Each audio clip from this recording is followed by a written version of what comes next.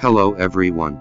This video introduces MakerBase new product MKS Pi. MKS Pi is a high-end microcomputer board designed by MakerBase to replace the Raspberry Pi for the convenience of 3D printing users to use the Klipper firmware. In terms of parameters, MKS Pi adopts a powerful MCU and large memory, and provides more interfaces. Powerful processor for more stable printing. Onboard 1 GB of DDR3 memory to run Klipper firmware more smoothly. We built the entire Klipper Clipper screen environment based on Armbian. And Klipper can be used with a little configuration of the printer information. The following is the used demonstration of MKS PI-TS35.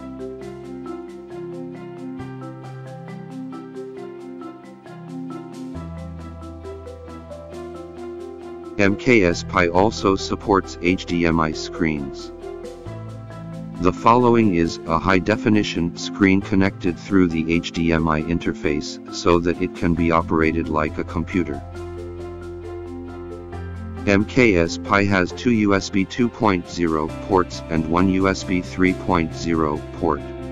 They can be connected to a 3D printer mainboard, USB wireless network card, USB camera, U-Disc, USB keyboard and mouse, etc.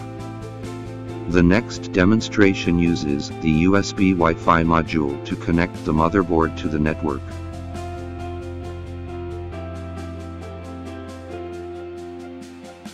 Next demonstrate the use of USB camera to monitor the printer.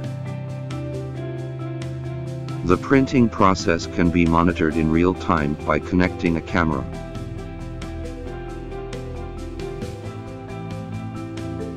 MKS Pi also provides a 100 millions Ethernet port.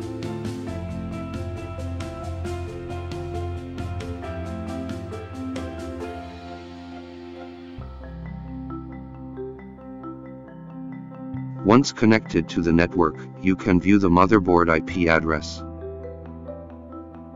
MKS Pi reserves more than a dozen GPIOs as extended functions, among which the SPI interface can be used for acceleration modules such as ADXL345. This is how the MKS Pi is connected to the accelerometer.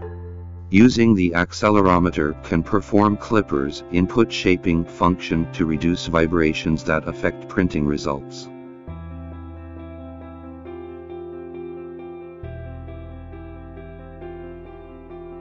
There are two ways to connect the MKS Pi to the 3D printer motherboard. One is through USB connection and the other is through serial port connection. The USB connection method depends on whether the 3D printer motherboard has a USB interface. Here's how to use a serial connection. Here's how to connect with USB.